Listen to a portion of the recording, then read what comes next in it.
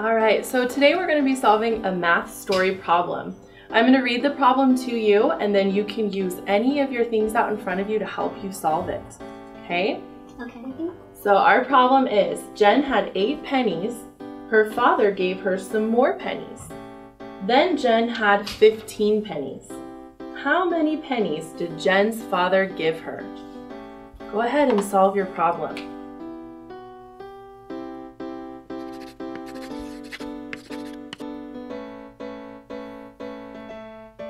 I used the number line. I solved this problem. I started at 8 and I'm gonna count I count up to 15.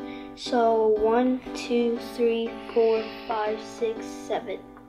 So I got 7. I use the part per whole model.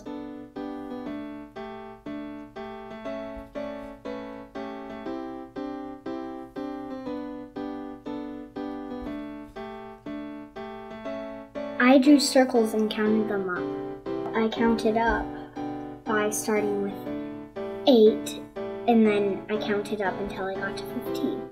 So as you can see here, the students were able to solve a, a real life problem using a variety of models, whichever one that worked the best for them. And they were each able to get the answer using those models.